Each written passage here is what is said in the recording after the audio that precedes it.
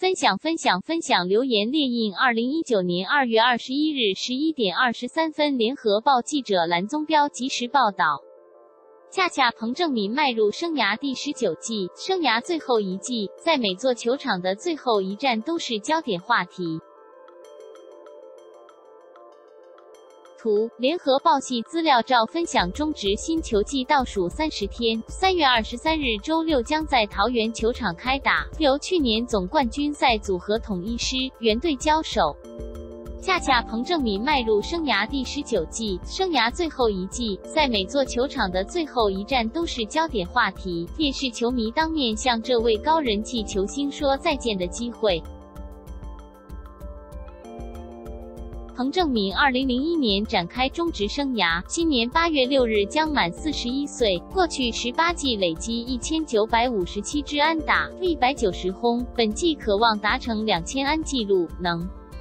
体继张泰山两百八十九轰，林志胜两百五十七轰之后，成为中职史上第三位两百轰俱乐部成员，必须重现年轻时期的爆发力才行。彭正敏目前得一千零六十一分，只落后张泰山十四分。新球季开打第一个月就有机会超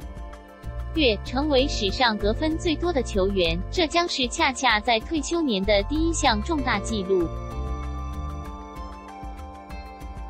中信兄弟队本季首战三月二十四日在桃园球场对决原队，彭正敏退休日也正式进入倒数阶段。中职本季将在七座球场进行两百四十场球季赛，兄弟在各球场最后一战依序是八月十一日天母队富邦汉。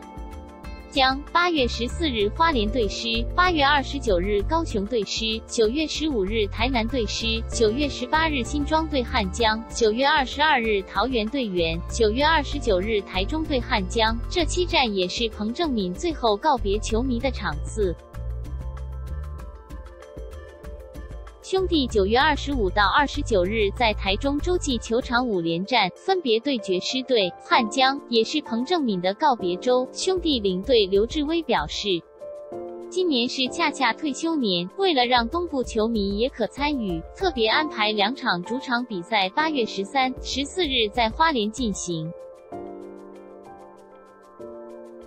分享分享留言列印。